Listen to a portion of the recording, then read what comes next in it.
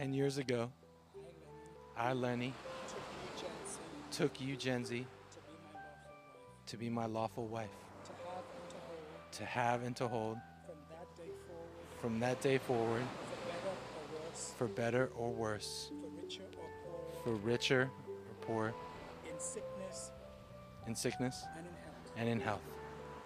Today, Today, I reaffirm I reaffirm that vow.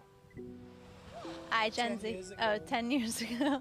I, Jensy, Hi, Jensy. took you, Lenny, Took you, Lenny, to be my lawful husband, to be my lawful husband, to have and to hold, to have and to hold from that day forward, from that day forward, for better or worse, for better or worse, for richer or poorer, for richer or poorer, in sickness and in health. in sickness and in health.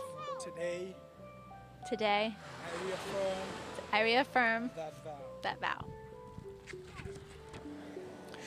From the earliest times, the ring has been a symbol of wedded love, an unbroken and never ending circle that symbolizes a commitment to a love that is never ending.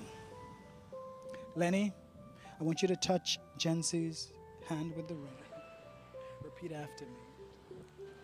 From this day on, From this day on, I recommit myself to you, I recommit myself to you, and this ring and this ring is a continued symbol of my pledge. of my pledge.